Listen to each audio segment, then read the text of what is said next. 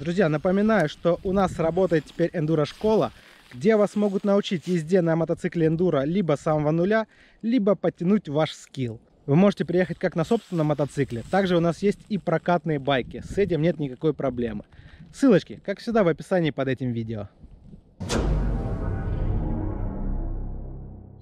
Всем привет! Сегодня 9 марта, температура воздуха с утра уже градусов 15.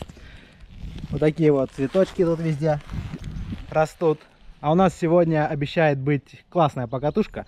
Я первый приехал на своем новом мопеде.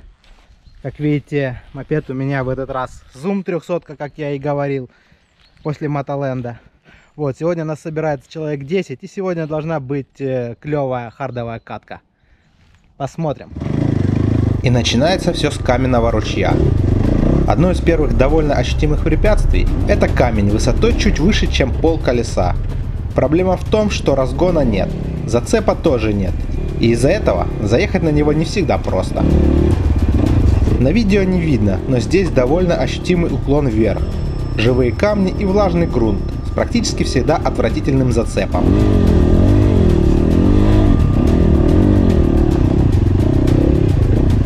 Протяженность ручья пару километров, Попробуем проехать его до конца.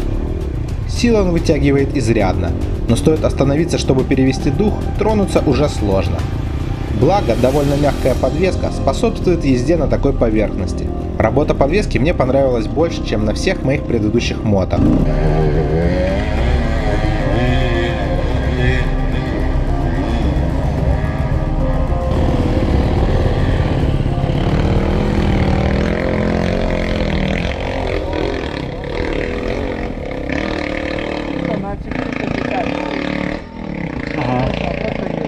Просто на низах, да. На... Вон вообще не На взял. холостых. Тар, тар, тар, тар. Ну заехал. Главный результат.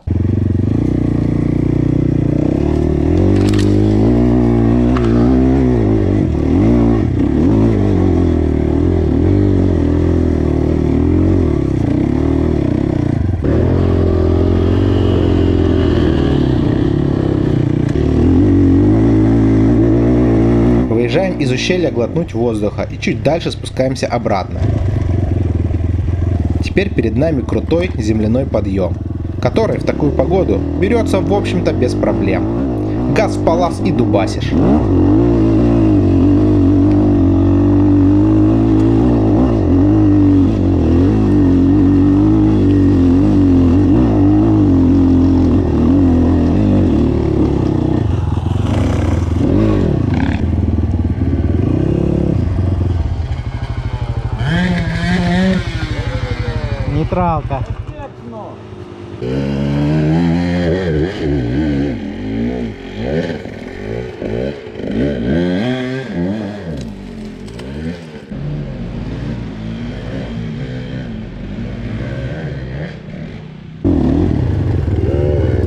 Продолжаем движение по ущелью вверх. Пытаемся проложить новый маршрут.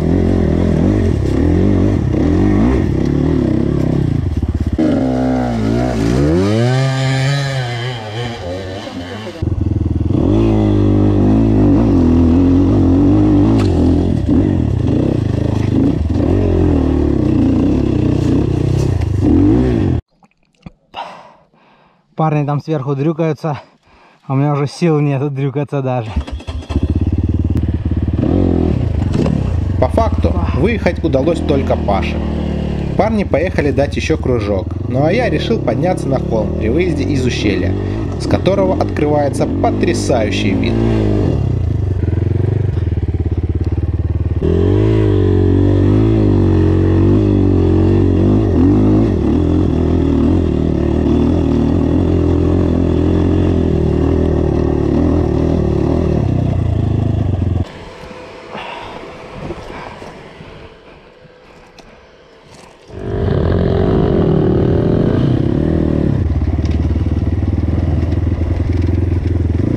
Через несколько дней мы вновь в начале ущелья и каменного ручья. И вновь этот веселый камень.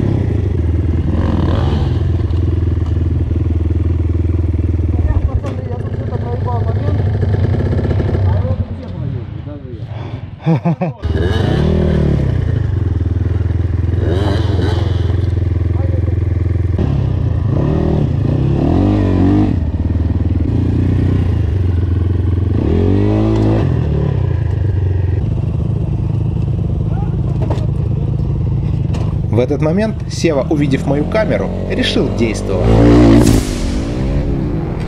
Опа.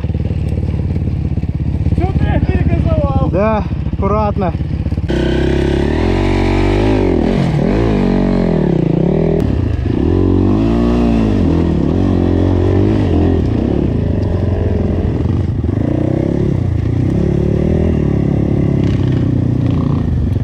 Сейчас мы возле памятника в честь сбитого летчика и солдат Великой Отечественной войны.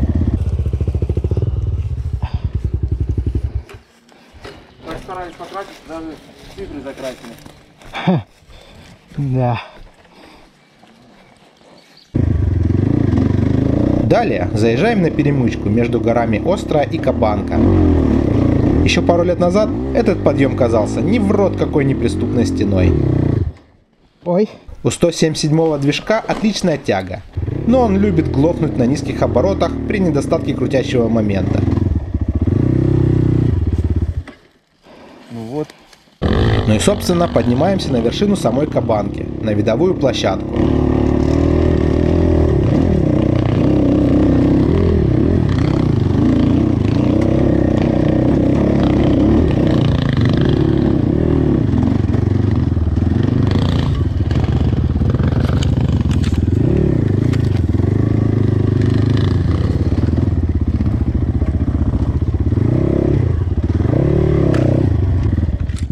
Все дружно отмечают коронавирус. Да. да. Буря Эх, лепота, красота. Здесь раньше диван был. Да, я помню. Пиздец. Ты что творишь? Испугались? Да уж, глупая смерть могла получиться. Вот это красота, я понимаю. А запах цветочный, ох. Теперь мы на домашке, в ущелье еще одного ручья, с северо-востока от горы Биштау.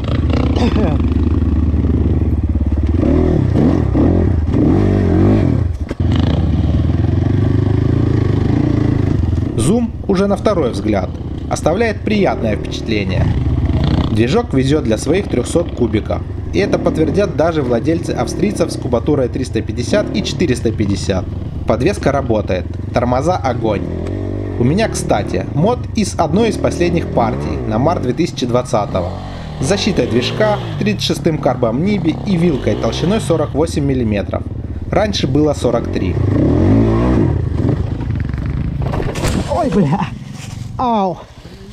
Это было больно. Блять, на руку на локоть. Да.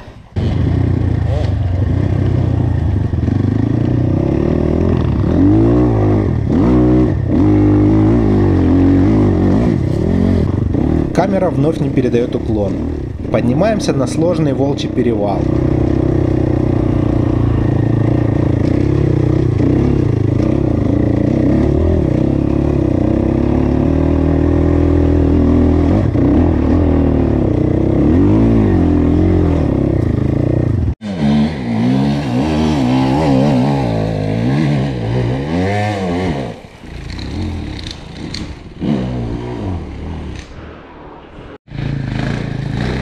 Дима исполнил знатную куру, которая, к сожалению, осталась за кадром. Если вам понравилось наше видео, ставьте лайкос, подписывайтесь на канал и жмите на колокольчик. До встречи на новых покатушках. Пока-пока.